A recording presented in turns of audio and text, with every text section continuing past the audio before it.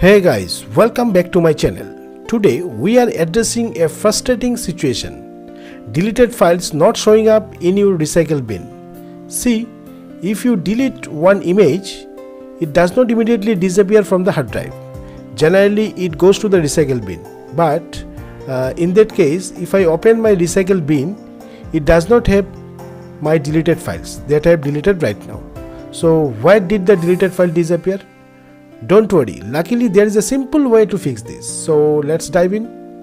So before you dive in, I would really appreciate it if you would hit that subscribe button and click the notification bell icon so that you will never miss out on any of my future videos.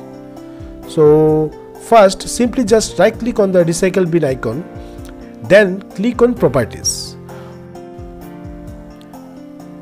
When the recycle bin dialog box pops up, ensure that the radio button under settings for selected location is on custom size, not on don't move files to the recycle bin.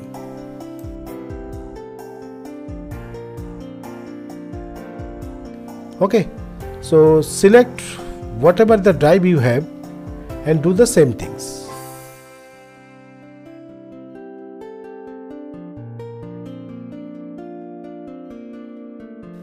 Now confirm this action by clicking apply and OK to close the window. Now you can check.